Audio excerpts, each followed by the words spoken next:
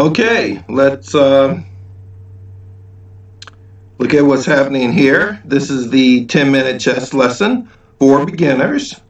And we've already gone through the tactics. It's very important that you practice your tactics every day and develop the ability to recognize when a tactic is always there or when a tactic is not there. If you recognize the possibility of a tactic, then you slow down and you actually do calculations. Just because you think the tactic is there, you don't play the move. You slow down, you actually do the calculations. And we've already talked about openings, our basic opening principles, which are place at least one pawn in the center of the board. You're attempting to control the center of the board, which is d4, d5, e4, e5, and all the squares that touch those squares. This is mainly accomplished by developing your pieces towards the center of the board, getting your king into safety by castling, developing your minor pieces first, then your major pieces, major pieces being the queen and the rooks. Once your minor pieces are developed, decide on a plan, and within that plan, where it would be best to place your queen. Once the queen is located, you'll be able to connect your rooks and move them to the file that's most likely to open. Some of the errors you want to avoid is do not bring out your queen too early. Do not move excessive numbers of pawns. Do not move your knights towards the edge of the board. Do not leave your king in the center of the board. And I think those are, if you can accomplish that, you'll no longer be a beginner. Of course, you got to accomplish it consistently. Having said that, what we're going to do now is look at opening play and how the opening play transitions into the possibility of tactics. Okay, here we go. This is actually a game that I played against the computer. And like we talked about before, is you want to get software that will allow you to play at different levels. This level was 1200, which is in uh, the USCF, which is United States Chess Federation, the low lower classes, and people are just starting out in tournament play. Their skill level is still being developed. As a casual player or a tournament player, this is a nice place for you to begin at and start developing your skills, especially against the computer. Okay, here we go. I was playing white. E4, that's one of our basic principles. Black responded C6. This is actually the Caro-Kann opening or Caro-Kann defense to be exact. What black is going to do, he's going to challenge my center with either, let's point this out, D5, pushing a pawn to D5, pushing that pawn again to C5, or pushing a pawn to E5, and in some seldom instances, even pushing F5. But this all has to be timed correctly and will be beyond the skill level of a beginner, but you might want to try it. But remember, in this defense, you have to establish a pawn either at d5 or e5 at the appropriate time, and still all the other principles apply. You got to develop your minor pieces, develop a plan, place the queen on appropriate square, connect your rooks, and proceed from there. Now, when your opponent does something like this, your job is to take total control of the center. If he'll allow you to place two pawns in the center and control these four squares, then that's what you do. And see if he knows the appropriate response when doing and defense that has to counter your uh, center strength of your two pawns. Of course, the computer does exactly that. He places the pawn at d4, challenging my center. I develop my knight, which is in agreement with our basic principles and ideas in the opening for the beginner. He develops his piece. Now this might be a little questionable because this allows me, and when we get to discussing the ideas, principles in the middle game, you'll find this out. It allows me to take space. Space is very important in chess. The more space you have, the more mobility you have for your pieces. He has to underdevelop. He's interfering with his queen's bishop, which is interfering with the queen's rook. And because he attempted the defense involving pawn to c6, he's also in, interfering with the natural square of his queen knight. I continue to develop. Now, he shows what he's attempting to do. He's attempting to challenge the base of my pawn chain, which, if your opponent has developed a strong pawn chain, is exactly what you do. Attack it at its base and try to break the chain. What I did was I fell back with my other knight, which does block in my bishop, but momentarily I'm going to move that knight either to g3 or if he exchanges at d5, I'm sorry, if he exchanges at d4, I'm going to use the knight at e2 to take back at d4 and have a strong post for my knight. Usually, your opponent will not want you to establish a strong post with the knight. They'll try to avoid that, and so black does. He pushes up e6, which now makes it even more difficult to develop this light squared bishop. He's going to have to develop that bishop real soon and probably should develop it to b7.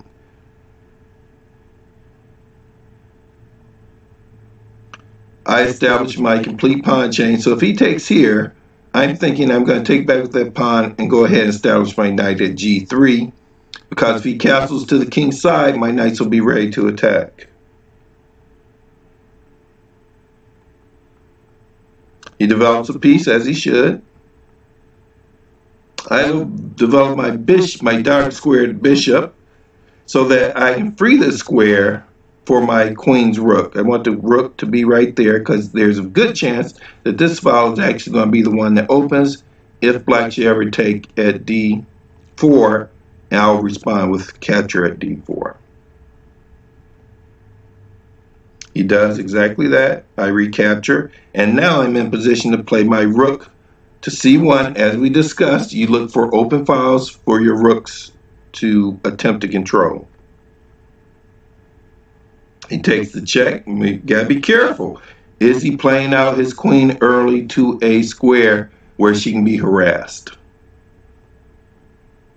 And of course, given the opportunity, I will harass the queen, but it's kind of like underdeveloping my bishop. He selected to offer an exchange of bishops. Now, actually, it's not a good idea for black. The reason being, my center square, my center pawns are on dark squares. That means that this is my bad bishop. His center pawns are on white squares. This is his good bishop. And to if we apply basic strategy, I probably should have exchanged off that bishop. But I'm thinking this is also my bishop that is most likely to be in position to attack his king. Because this center is locked up, you really don't have to be in a rush to castle. As a beginner, you should, but once you develop your skills and your ability to see, especially tactical play, in a locked position, you can probably delay castling and do some other development things. I use my knight to block the bishop because I do not want my dark square bishop exchanged off, even though it is the bad bishop, but I think it's going to be useful in attacking the king later.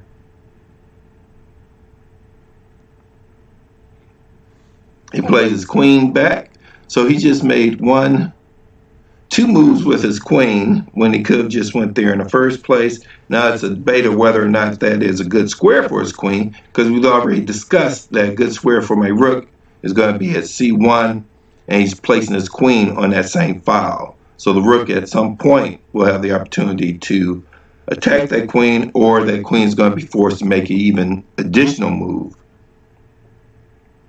which will be three tempos with the queen. I did not take the rook's position. I went ahead and developed my bishop. For what purpose? I'm prepared to castle to the king's side. And now both these bishops look really good leading to the king's side castle, but he is not actually castled yet. A beginner in this position, adhering to the principles, will go ahead and castle. Now, a intermediate player or advanced player would be very cautious because of the possibility of attacking on the king side. I mean, this pawn can travel right up the file to the king side castle. Once this knight moves out the way, the queen actually has the possibility of coming to g4. The bishops are already in place to attack the castle position, and white has control of f6, where normally the knight would be to protect the king's castle position. Let's see what white does. I'm sorry, let's see what black does. He does, in fact, castle. So he's castling into a dangerous position, which illustrates that this is a beginner level and that the computer representing a beginner really isn't going into deep tactics. And of course, when you don't do that, when you neglect the possibility of tactical play, you usually have to pay for it. There it is. So the bishop is sacrificed. This is only move 13. Black goes ahead and captures a sacrificed bishop. Now, if he does not capture, then you just pull the bishop back and use one a pawn, at least a pawn, and the king is exposed. Check from knight. The king did not have to go back to g8, but his other options were really bad too. If he tries his best option, which is g6, then queen is going to b1, checking the king. Pawn is going to have to block the check. The knight will capture at e6, forking the rook and the queen. Because the, oops, I'm sorry, didn't mean to do that. Because the my opponent was not playing with tactical ideas, he did not see the queen coming to h5 with multiple threats. The response was to attack the knight, thinking that the knight would move back, but that's why you got to look at all the options of your opponents as well as all your own options. The queen delivers checkmate.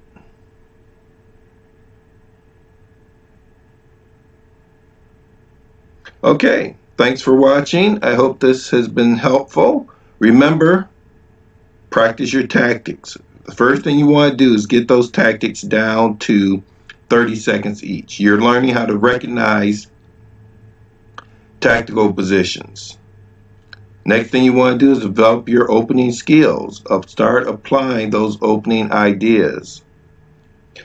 Uh, very soon we'll talk about middle game uh, positional strategies because once there's no tactic available to you in the middle game, very often beginners get confused and just don't have any idea what to do.